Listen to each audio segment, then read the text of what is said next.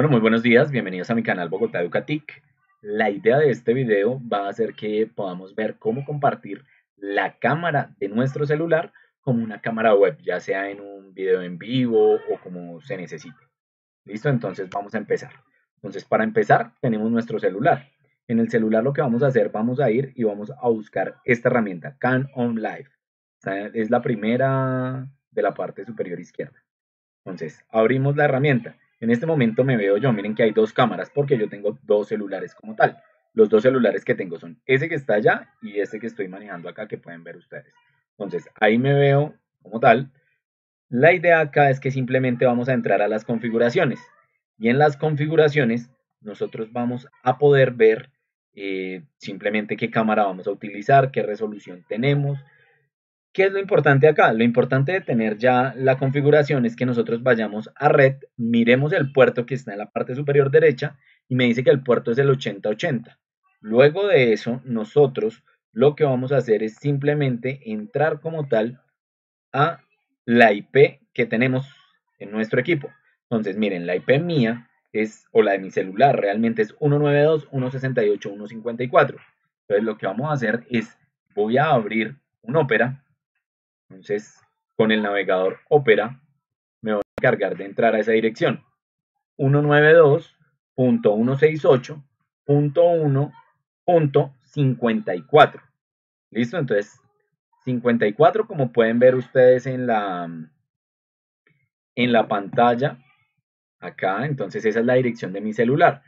¿Qué pasa con esa dirección? Esa dirección está permitiéndome ingresar como tal al celular. ¿En qué puerto? En el puerto donde esté la aplicación, que para el caso es el 8080. Entonces yo voy a entrar y miren que en este caso puedo ver como tal mi, mi pantalla. Pero voy a entrar entonces a la cámara que tengo en la parte de allá. La que tengo en la parte de allá es la 52 por el puerto 8080. Y aquí ya vamos a poder utilizar la cámara como tal en el, en el programa que yo quiera. Entonces, miren, yo estoy saludando, buenos días, ¿cómo están? Eh, simplemente se ve que yo estoy ahí. Ustedes pueden verificar el retardo que hay entre el audio y, la, y, la, y el video como tal. ¿Qué pasa realmente? ¿Qué quiero yo que se vea? Lo que yo quiero que se vea es que es diferente a la aplicación que se llama, eh, esta que está acá, que se llama DroidCam. ¿Qué pasa con DroidCam? DroidCam sí tiene una desventaja grande y la desventaja de DroidCam es que tengo que utilizar, instalar una aplicación en el celular y además instalar una aplicación en el computador. En cambio, de esta manera ya no debo básicamente instalar una aplicación en el computador, solamente la instalan en el celular y entran por el servicio web con la dirección que tienen acá. Luego, entonces, hasta aquí serían las personas que quieren ver la cámara en el computador y compartirla en el envío por X, Y o Z circunstancia. Luego de eso, vamos a pasar a la siguiente fase, las personas que quieren utilizarlo en OBS. Entonces, para hacer un video, sacar esa información como tal dentro del OBS. Entonces, simplemente vamos a ir a más. Miren que yo estoy compartiendo ambas cosas, mi celular y también eh, la cámara del otro celular. Entonces, tengo dos celulares y tengo el fondo de mi video. Entonces, ¿cómo se hace? Simplemente vamos a más, capturamos la ventana y en capturar la ventana vamos y seleccionamos una nueva ventana y aquí podemos decirle cuál es la ventana que yo quiero seleccionar. Entonces, para el caso yo puedo decirle, ah, venga, yo quiero la de ópera. Entonces, vamos a ver la de ópera en este momento. Perfecto. Y lo que debemos hacer es un recorte sobre esa, sobre esa cámara. Entonces, voy a repetir el paso de lo que hay arriba. Simplemente vamos a darle clic derecho y en clic derecho vamos a ver que está la opción de transformar. Y en transformar le vamos a dar editar transformación. Entonces, ¿qué va a permitir eso? Que cuando yo le dé clic derecho en transformar, editar transformación, voy realmente, vamos a poner más pequeño este pedacito de acá y básicamente voy a ver que tengo toda la información de mi pantalla. Voy a poner un recorte, voy a decirle el recorte es de 200, el recorte a la derecha es de 300. Listo, entonces el recorte es de 450. Igual para ser más precisos, pues simplemente ustedes van metiendo los valores. Arriba quiero un recorte de 400, es demasiado grande, de 290. Y abajo quiero un recorte de 100 píxeles. Entonces, el que me quedó mal fue el de la izquierda, vamos a decirle 220. 250, con eso ya tengo la información de mi cámara. Entonces miren, ya tenemos como tal la grabación, ya hicimos el recorte, ¿cuál es el problema? Que se ve el fondo verde. Para quitar el fondo verde simplemente vamos, le damos clic derecho y le damos filtros.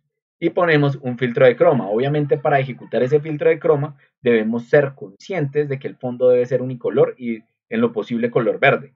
Entonces vamos a decirle filtro de croma, fondo de croma, le damos a aceptar y él inmediatamente me pone el fondo. Ojo, yo puedo mejorar esos fondos. Entonces yo puedo decir, bueno, vamos a mejorarlo de esta manera para que sea un poco mejor.